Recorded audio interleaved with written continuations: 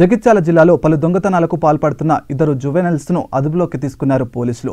వారి వద్ద నుంచి పది మోటార్ సైకిళ్ళు స్వాధీనం చేసుకున్నారు.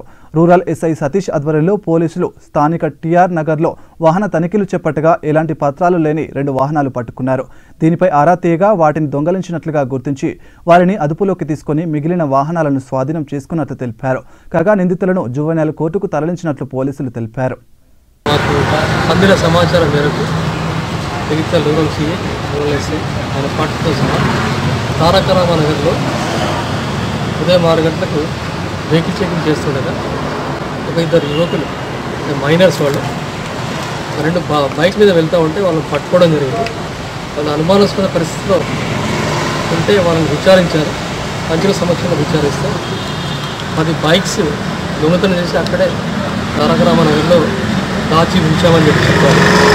అవన్నీ కూడా నేను విచారణ మా ఫీలింగ్ ఏంటంటే కరీంనగర్ టూ టౌన్కి సంబంధించిన కరీంనగర్ వన్ టౌన్కి సంబంధించిన రెండు వెహికల్స్ టూ టౌన్కి సంబంధించిన మూడు వెహికల్స్ జగిత్యాల టౌన్కి సంబంధించి నాలుగు వెహికల్ జగిత్యాల రూరల్లో ఒక వెహికల్ ఇవన్నీ కూడా దొంగతనం చేసి వీటిని అమ్ముకుందామని చెప్పి వాళ్ళు కార్యక్రమాలను దాచిచ్చారు ప్రపంచ సమక్షంలో వాటిని స్వాధీనపరచుకోవడం జరిగింది.